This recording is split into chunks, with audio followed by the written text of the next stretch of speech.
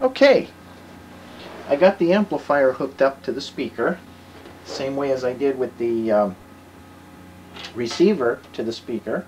I'm going through the 70 volt line output. Uh, actually, the 70 volt line transformer on the speaker from the 70 volt line output of the amp.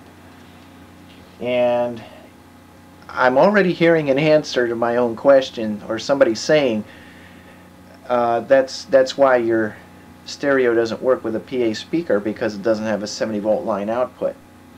Well, that may be true, but I'm wondering what the circuitry is is made of. Like what's what's in the circuitry to allow the um, the PA amplifier to drive the 70 volt line transformer as opposed to a regular stereo unit. And I know that the wattage is different, 30 watts compared to 100 watts. But I'm, I'm still curious to know exactly what's behind all of that. But anyway, I just activated my uh, little MP3 player that I hooked to the amp, which is this right here. And it's going through the 70 volt transformer.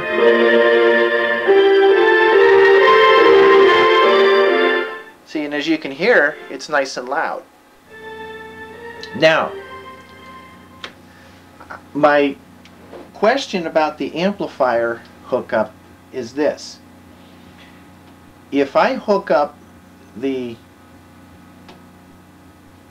amplifier to the 70 volt line output directly to the speaker without the transformer, I do get sound, but what what is the danger on that? What is the danger on hooking the, the amp from the 70 volt line output to the speaker directly without going through the transformer first? Because I did try it once and I was able to get full sound but for some reason I don't know if the amp seemed like it was overloading or if it's just because of the wrong output. So I'm just going to do this real, real briefly.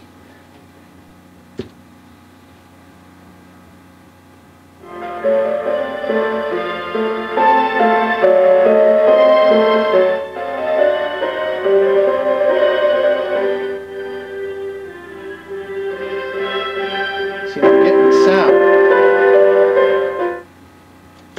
See, I got sound, but I did notice that the uh, when when I turned on the amp, the uh, just the sound of the amp was real loud. So now what I'm going to do is go to the 8 ohm output, which is where it should be, and see what happens there.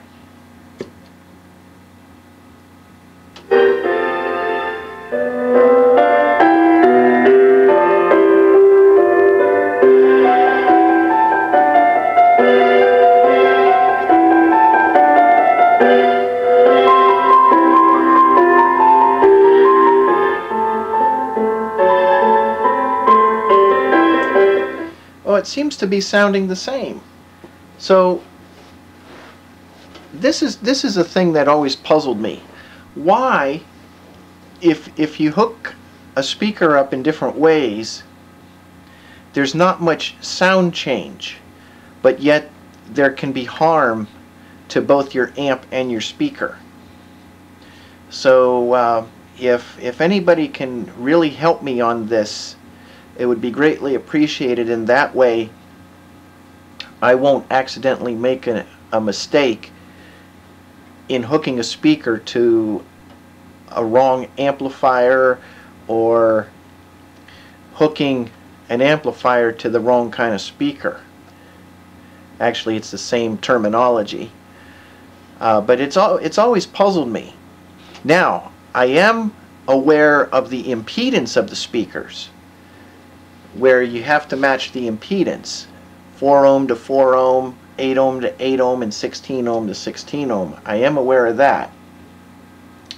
And I am aware of the wattage per se but I was also reading the manual on my uh, amplifier my PA amplifier that I have here. Let me just let me just hold it up a little bit so you can see what kind of amp it is. See, that's the MPA 30, uh, MPA 95 by Radio Shack, and it's a very good amp. But they said in the manual that if you're using the 70 volt line transformer, that you cannot go beyond the wattage of your speaker hookup to the amplifier.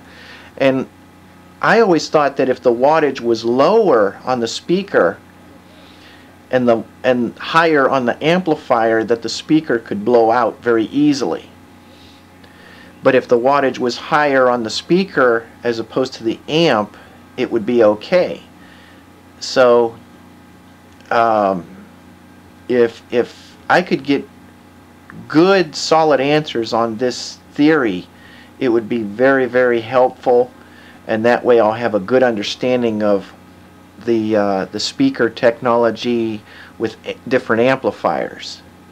So All American 5 Radio if you are watching this uh, please do some research and uh, probably the best way to do it would be to make that video so that way I have full understanding of the speaker technology and uh, what is the best way to use a speaker when dealing with different amplifiers. So until next time, this is Music Man 0150 signing off. And uh, if any of you other engineers out there or electronic hobbyists have any answers, please comment as well. Thanks for watching and have a great day.